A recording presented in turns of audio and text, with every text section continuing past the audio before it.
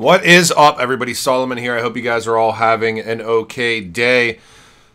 Tons of information to get into today. We essentially have uh, EVM or Ethereum virtual virtual machine compatibility with uh, side chains on the XRP ledger live. Uh, at least in the dev aspect, dev mode, they're live. Um, we also have Swift essentially removing all of the public updates from their knowledge portal. Um, I'm just going to kind of hop right in because there's just tons of information. I'm going to be talking about Quant a little bit too, some interesting Ripple partnerships, and some Alliance Block news, which we haven't talked about Alliance Block in a while. Uh, but so we do this adoption through, uh, review through Genfinity, or these are the ones that I did for the first three months. And when I say updates through Swift's website, I'm talking about uh, there's a knowledge portal that always would have release updates on there. Now, this is how I was able to find ISO 24165, adding support for non-deliverable trades and digital currencies. So through these uh, digital token identifiers, ISO 24165, this was I found it through the updates on Swift, as and this goes live in November, as well as blockchain wallets in November. They were constantly pushing out updates. They usually would come out like three or four times a month. What has occurred though is they've moved all of the updates to a portion of this site and they've revamped their whole site just over the past two or three weeks. Uh, they moved the, the updates to a portion called release timeline. Well, guess what? It appears that you need Swift credentials now to see updates for release timelines through Swift. Um, I'm going to keep diving into this and see if there's a way around it.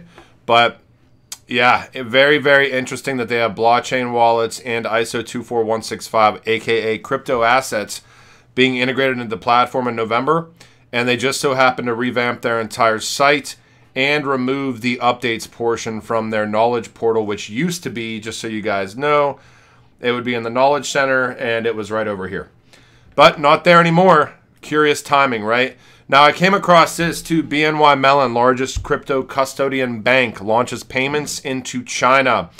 Now this deals with Ripple and BN, uh, BNY Mellon as well. Um, and we can see here, this is Bank XRP. There was a proof of concept all the way back in 2016 with RippleNet uh, with BNY Mellon, but I think this is very interesting. So BNY Mellon has pulled off a, a first ever payment transaction from Egypt to China, partnering with a couple of organizations here. QNB, Al Ahli Egypt, uh, the bank that sent the funds, and Shanghai Pudong Development Bank in China that received them. So Crypto Custodian Bank launches payments into China, and we can look at some of the previous information here. Pudong, uh, Shanghai Pudong Development Bank. This is your XRP Arcade and Lionel and some of the great work that he's facilitated. Uh, Shanghai Pudong Development Bank definitely had some sort of an initiative with Ripple, and they've removed it from their site. But we do know that Al Ahli and QNB both uh, Ripple both RippleNet. Uh, February 2020, uh, Al Ahli Bank signs agreement with Ripple for remittance and payments. QNB was October 4th, 2021, enhanced uh, global cross-border payments. So, not definitively, we don't have uh, facts in here, but you know, there's there's some interesting relationships there for sure. Um, also, Quant has been on quite the tear, and this is one of the reasons we should be looking at you know how much these things are running in a bear market. This isn't to say quant can't go higher than where it's at right now, but breaking above all time high with Bitcoin, you have to even just you know I know a lot of people think charting is nonsensical, but if you go back in history here, this is on the weekly chart versus Bitcoin. This is the RSI. Essentially, this is going to tell you overbought or oversold conditions. On the weekly chart, we touched this uh, 84 level, about 84, 85, once, twice, three times, and then just now two. And what do we see? We see a massive sell wick with uh, resistance resistance right here after we break out of all time high. I would hope that we would have some sort of healthy consolidation because a type of a move like this from June of 2022 to today, I mean, essentially going up 2, 4, 6, 8, 10 at the peak 12, so a 6x uh, in a bear market is pretty ridiculous against Bitcoin. So hoping for a little bit of consolidation, um, et cetera, et cetera. Within that, Quant still at 199. Um, it capitulated down to like forty dollars in June. So yeah, I mean a five hundred percent gain is pretty ridiculous, right? Or six hundred percent gain is pretty ridiculous. So Uh, Goldman Sachs. Commodities market could enter blockchain according to new industry initiative. I'm sorry, gold commodities market could enter the blockchain according to new industry initiative. This is the World Gold Council essentially talking about partnering with this group called aXedras Group and making gold trading more accessible and streamlined. Well, aXedras Group, again, Bank XRP, like a legend in this space, obviously been here forever, um, talking about them signing a contract with R3 to use Corda Enterprise Solution to, build a Bullion integrity ledger. Just found that a little bit interesting as well. Now, the big news coming out today, at least in my opinion, is you know, out of RippleX, introducing the first phase of bringing an Ethereum virtual machine or EVM sidechain to the XRP ledger. Uh, Ethereum virtual machine developers, we invite you to experiment with the functionality on DevNet and enjoy the best of Ethereum and the XRP ledger for your DeFi applications. Here's the whole article here, uh, and the timeline is is what I want to focus on here. So the roadmap ahead, the first phase of the EVM sidechain is currently available for testing on the XRPL DevNet. So that's live. Using a bridge, developers can test the exchange of DevNet XRP between the Ethereum Virtual Machine, machine sidechain and the XRP Ledger 2. Number one, access available technologies. And number two, deploy their existing Solidity apps on the Ethereum Virtual Machine sidechain and access the XRPL DevNet user base. Phase two is on track for early 2023, which will feature a permissionless Ethereum Virtual Machine sidechain and a bridge with a unique design that connects to the XRP Ledger DevNet to expand participation and test scalability within a controlled environment. The end goal with all of this is phase three a permissionless Ethereum virtual machine sidechain and bridge available on the XRP Ledger mainnet slated to follow.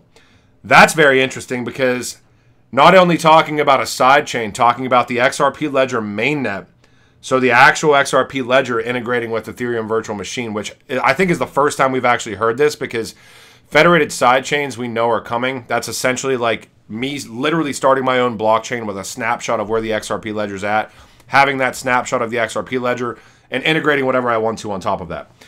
But Ethereum Virtual Machine compatibility, uh, compatibility on top of the XRP ledger mainnet is very, very interesting. Um, who knows how long that would take to actually flush out because you would need the votes. Uh, you would need at least the 80%, uh, 80% threshold, right? Um, throughout all three phases, the Ethereum Virtual Machine sidechain will feature block and finality times comparable to the XRP Ledger mainnet and support Ethereum smart contracts and applications. Another big one, like MetaMask, Remix, and Truffle.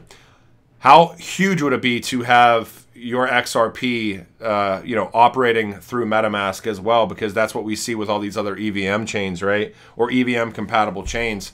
Um, massive. Now, I found this graphic to be very curious as well. Bridging the best between both worlds, XRPL EVM bridge.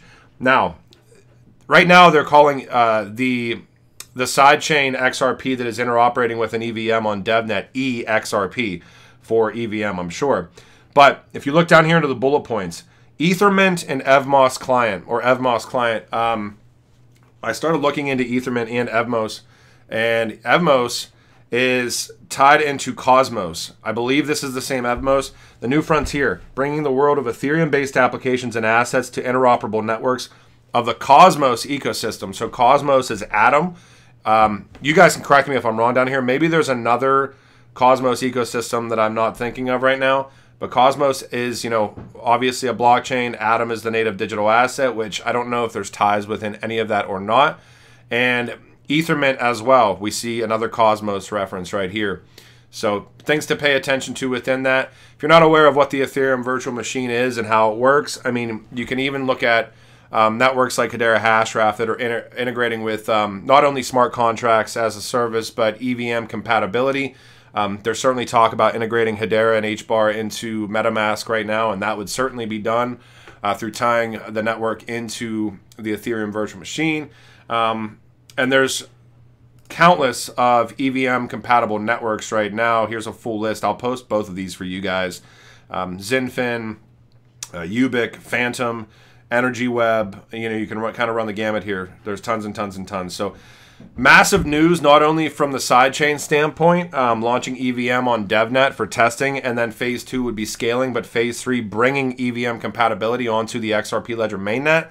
That's massive, and I don't think we've ever heard that yet. I know I certainly haven't. I've heard about it being integrated into federated sidechains, never heard about it being integrated into the actual XRP Ledger. But that is apparently what the goal is going to be over time, and to me, that is, I mean, it's just kind of a it's a ridiculously large use case. I'm curious what that would actually do, um, or maybe it wouldn't do anything um, to consensus-based, you know, con- consensus mechanisms on the ledger itself. So, uh, from a speed and utility standpoint, but all right, Koreans to have access to blockchain-powered digital IDs by 2024. We've talked about this so many times: digitization, digital ID, digital sovereignty. Uh, green initiatives are coming, obviously, by 2030, but South Korea could soon allow its citizens to use blockchain based digital identification instead of physical cards as soon as 2024. It looks like this would be going through mobile phones. Um, and Korea sees an economic value of these digital IDs at around 3% of their gross domestic product, which is pretty big, right? Government to allow smartphones to replace existing ID cards. All right, last but not least, there was a massive announcement coming out from Alliance Block uh, a few days ago. This is Alliance Block becoming INATBA, which is the International Association for Trusted Blockchain Applications, advisory board member for better blockchain policy and regulation. These uh, industry consortiums are certainly something not to scoff at and to very much so pay attention to because these are a lot of the working groups that are providing solutions uh, for governments, for banks, for agencies across the board.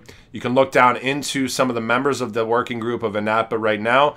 You've got 1inch, you've got Aave, you've got Aeternity, Accenture, which should ring a bell to a lot of people, Algorand, Alliance Block, Tendermint, um, Binance is in here.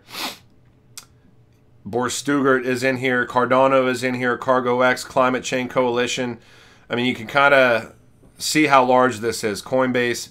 But yeah, Fujitsu. So Fireblocks. wow. Um, so yeah, congratulations to Alliance Block. I hope you guys enjoyed this video. Man, uh, Ethereum virtual machine compatibility on mainnet within the XRPL over time being the end game is really kind of a ridiculous proposition that I even missed it whenever I read through that article the first time today. Um, but that's gigantic. So I hope you guys enjoyed this video. I will talk to you when I talk to you. Thanks. Bye.